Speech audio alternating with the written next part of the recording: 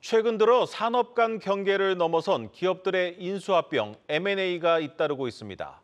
이제 식품 회사가 바이오 기업을 인수하고 화장품 회사가 tech 제품을 내놓는 시대가 왔습니다. 이 산업 간 경계가 무너지고 서로 융합하는 이른바 big blur 현상이 뚜렷해지고 있습니다. 유호성 기자입니다.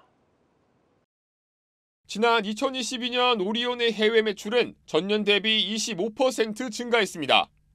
같은 기간 국내는 16%나 성장했지만 이보다 더 크게 늘어난 겁니다. 문제는 이 같은 성장세가 얼마나 더 갈지 장담할 수 없다는 겁니다. 실제 지난해 오리온 해외 매출은 1조 8,500억 원을 기록하며 전년 대비 5% 역성장했습니다.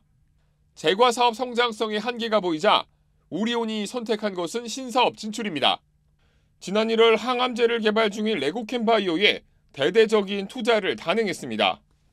바이오나 식품 회사나 R&D를 통해 가지고 제품을 개발하는 또 사람에게 이로운 어떤 걸 만들어내는 입으로 먹는 걸 만들어내고 병을 치유하는 그런 건데 그런 면에서는 이 막연 하나마 시너지는 나중에 날 수 있다고 봐요. 시간이 흐를수록 약품과 식품의 경계는 허물어지고 있는 상태니까. 이처럼 산업 간 경계가 허물어지는 현상은 세계적인 트렌드입니다. 프랑스 화장품 기업 로레알의 니콜라 이에로니무스 CEO는 올해 CES keynote 기조연설자로 무대에 섰습니다. 주인공은 적외선 드라이기 에어라이트 프로. 로레알이 하드웨어 스타트업 주비와 협업해 만든 차세대 헤어 드라이기로 뷰티에 대한 소비자 needs를 충족시키기 위해 tech 영역을 끌어들인 겁니다. So you may wonder why we're discussing beauty at CES. You know, why?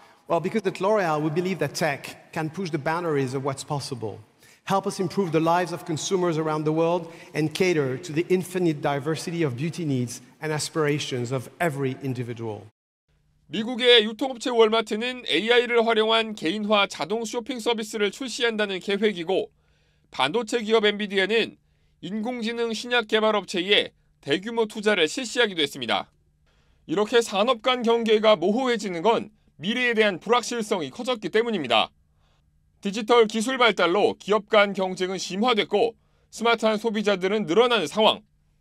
초인적인 능력으로 선택권을 갖고 어떤 한 기업이나 제품에 매몰되지 않아요.